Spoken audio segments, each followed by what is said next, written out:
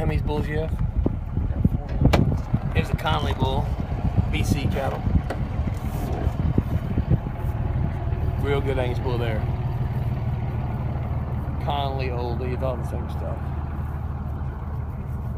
Woo! Bull's got a really ripping big hip in him. Those bulls always stay pig fat.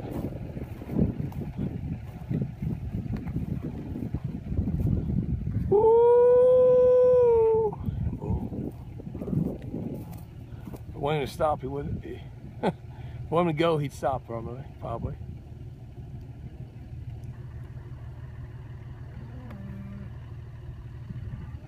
Anyway, it's a good bull.